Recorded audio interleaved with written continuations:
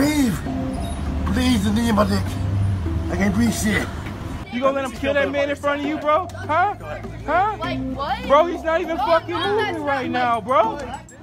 I can't breathe. Oh, ah, Shut up.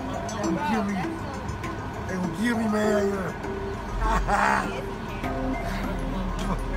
Bro, with your feet on his neck, man, you get out the car. His nose is bleeding. Like, Yeah, come on that's, now. that's wrong right there. But if you Yeah, put him in the They car. will kill me. How long y'all gotta hold him down? Why you don't do drugs, kids? It ain't about drugs, bro.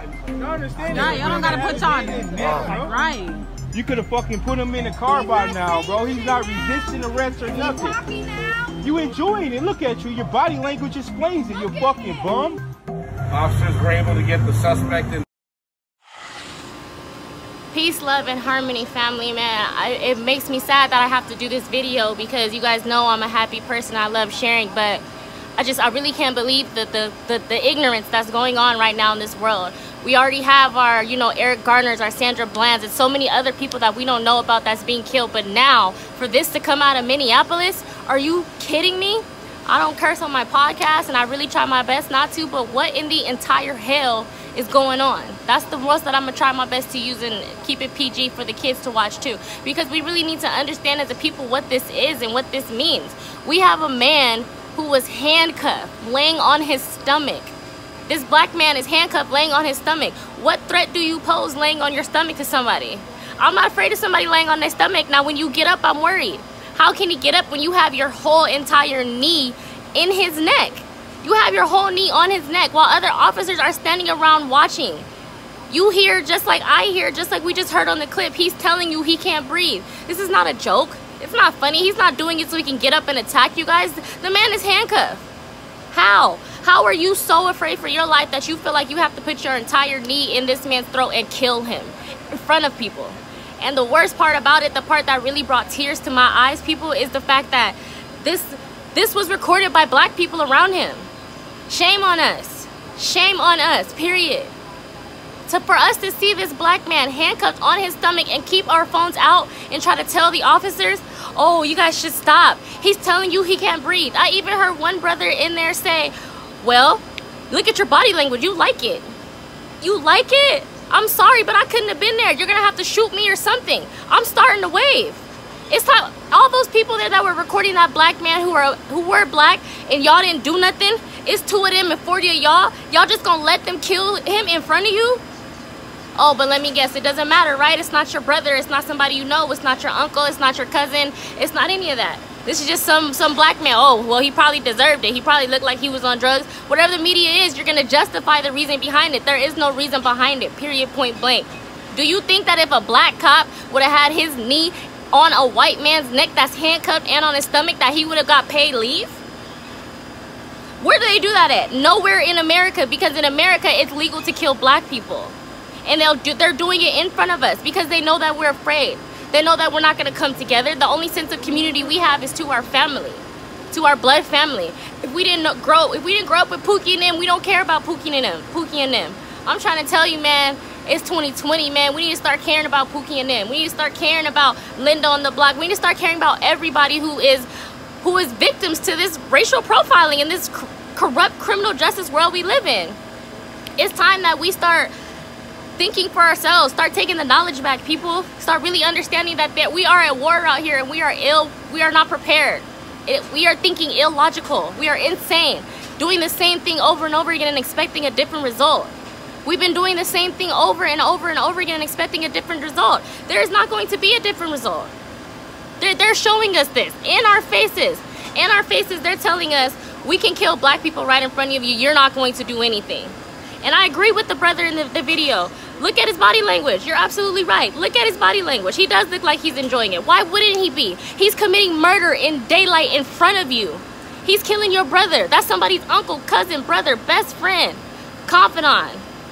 Whatever he was to somebody, that is a human life. And he's a black man at that. This would this doesn't happen to other races. What other race have you seen that got that is killed in front of you and you record it? Talking about oh he was pronounced dead later at the hospital. We just watched him die right in front of us on the street. But they were worried about there being an uprising. No, y'all weren't.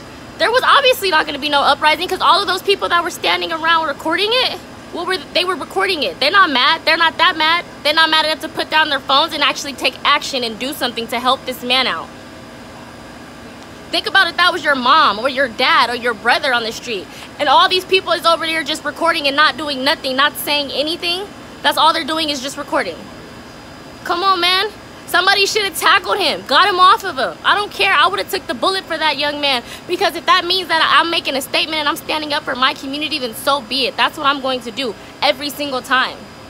Instead of pulling out our phones, yes, it's fine. We need to record it for judicial purposes, but we all know how this is going to play out. He's already on a paid leave. Charges? I mean, as far as I'm concerned, when I'm posting this video right now, there are no charges that are brought up. I don't know if charges will come up later, and I'll definitely make another video about that later. But as far as I'm concerned, there's no charges. He's he's at home, paid, having fun with his wife and kids, enjoying himself while that man can't go home. His family is mourning him, and he's still living. Are you kidding me, man? All I could think about is this was my brother that I was watching this video. This was my brother, and he was dead like this, and that man is out. No, ain't no way in the world. Look, you uh, look. Ain't no way in the world you're gonna hurt somebody that that's mine, that's me, of me, bone of my bone and flesh of my flesh, and I'm just gonna be okay with it. And when I say bone of my bone and flesh of my flesh, of course I also mean my community. We are all one and the same. We all in this fight together. All of us, no matter how much who got the clout and who got the most views and who get this and who get that, it doesn't matter because at the end of the day, you're still going to be a nigga to them, period. That's what we are. That's what we are and that's what it's gonna be. It's not gonna change. It's not gonna change unless we make them change it. How do we make them change it? Man, make sure you guys go over to Harmony Politics and subscribe, harmonypolitics.com. You can check me out on YouTube. I go, I go by the name of B Harmony.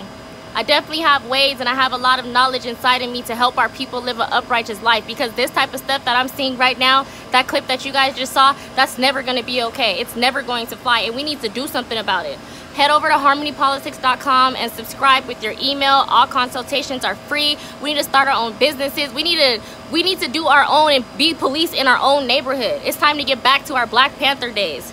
Huey newton huey newton man just it's time y'all it's time. Community over everything. And in this minneapolis thing i cannot i just i cannot understand how people were recording this man being killed in front of you. This literally you watch this man take his last breath and nothing was done Nothing. Man, my people, we got to do better. We really have to do better because if we don't do better, who's to do it? It's only to get worse from here, right? I've been seeing stuff on comments on YouTube and Facebook. Oh, this is modern day slavery and modern day lynching. This is not modern day lynching. This is the new lynching. It's not modern day. It's not, it's lynching 2.0. No, this is the new lynching, period. There's no extension of the old lynching. They found a new way to do it. Except for now, the, the slave catchers, they're called police officers.